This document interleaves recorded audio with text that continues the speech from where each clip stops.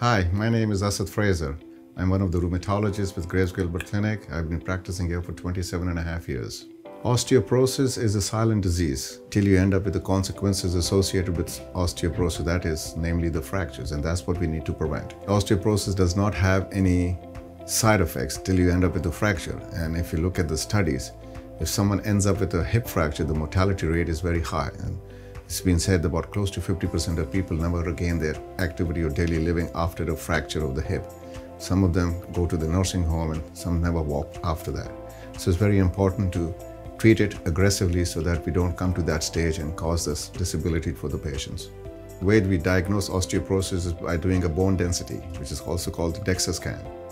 Normally it's done every two years. They look at two sites in the body. They normally look at the back and the hip and they give you different readings and that will tell you what their peak age bone was supposed to be at age 20 and that's what's called the T-score and that's what we diagnose the patients on with the T-scores.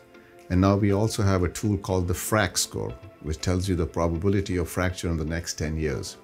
So when you do the reading and look at the DEXA, we're looking not only the bone density itself, but we're looking at the FRAX score also. So if you need to treat someone, because we know the risk factor for fracture in the next 10 years is high, so we can give them treatment aggressively. The treatment of osteoporosis actually starts when people are young, in their early 20s and 30s. That's the time to build your bones. So it's very important to counsel young females and other patients that they need to be taking calcium and vitamin D at that age. Because if they don't have enough calcium and vitamin D when they reach postmenopausal state, then the bones are already weak and osteoporosis can set in much earlier.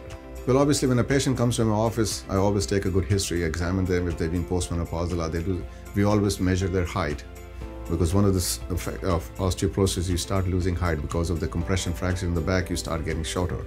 So I'll ask them how much have they lost, which gives you a little gauge that this patient might be developing osteoporosis. And of course, then they do the bone density you know and if you think that patient is, does not have adequate vitamin d check a vitamin d level because if you don't have vitamin d you're not going to absorb the calcium. And if you don't have calcium then the bones get weak. So everything ties in together. So and once the bone density results come in then we can sit down and discuss what the options are to build the bones at that time. Well the biggest message i like to leave with everyone is that this is a silent disease. Don't wait till the end till you have a fracture. It's too late then.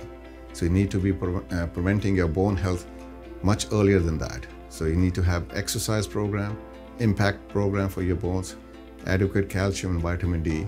And of course, if you have risk factors, then you need to be diagnosed with a bone density and be treated as needed.